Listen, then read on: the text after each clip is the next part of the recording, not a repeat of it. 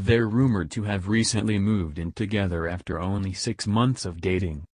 And loved-up couple Jennifer Lawrence and Cooke Maroney were spotted out and about on Tuesday night, after the couple enjoyed a meal together at Hwa Yuan Szechuan in New York's Chinatown district. The 28-year-old actress looked radiant in her mostly white ensemble.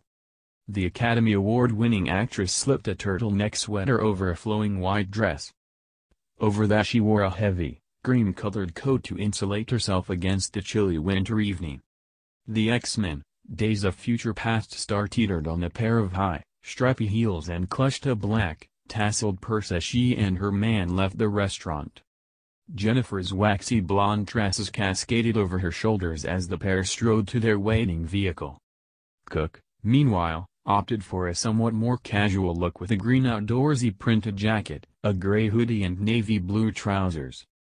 The hoodie bore the word Vermont across the front in large lettering. The 33-year-old also bore a scruffy beard on his chin for the romantic outing. The Hunger Games star and Cooke are starting to get very serious, and they have already moved in with each other after just six months together.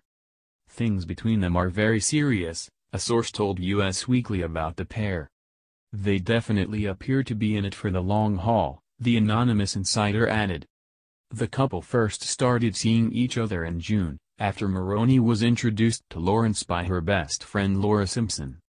Previously the young star had more high-profile celebrity relationships. She most recently dated her mother, director Darren Aronofsky from September 2016 to October 2017.